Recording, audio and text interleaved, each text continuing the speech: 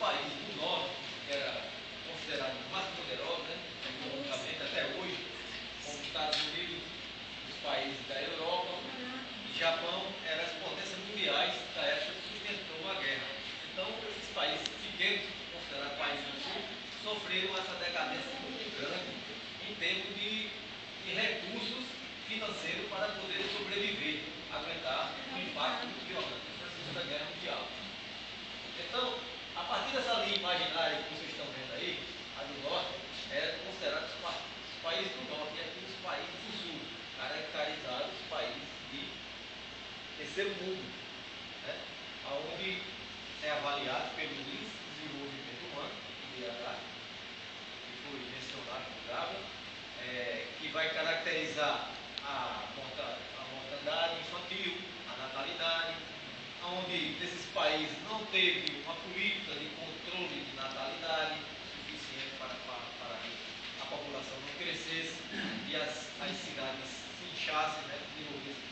é, de favelas que hoje tem, né, piso, uma série de coisas que,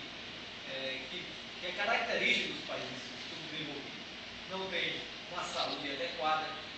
não tem meio de transporte adequado, sem um ponto de comunicação, tudo é dependendo dos países, tá? países do norte, são considerados países de primeiro mundo, porque ele lá tem alta tecnologia avançada, lá eles têm um poderio econômico, aonde está instalado o FMI, o Fundo Monetário Internacional, aonde os países subdesenvolvidos são dependentes dele, é, que ao longo dos anos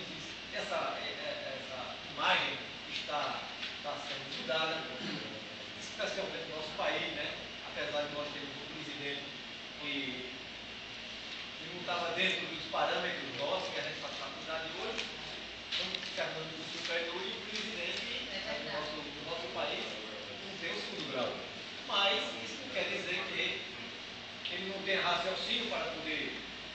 fazer as coisas. Quando a gente quer, a gente faz, colocou uma, uma equipe boa, tem seus atos mas que não pode vir. E o Brasil saiu do, do FMI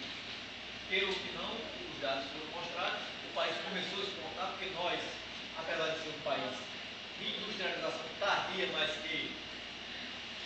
a gente conseguiu sair dessa crise, né, que nós éramos totalmente subordinados aos nossos americanos, a realidade é essa. Todos os nossos produtos internos que eram de monocultura, a gente vivia só na agricultura,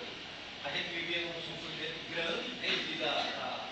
da, da, da, crise econômica de 29, que é a crise do café, que abrangeu violentamente, a gente, nós não tínhamos a diversidade que nós temos hoje no país, a gente criava aquela, aquele monopólio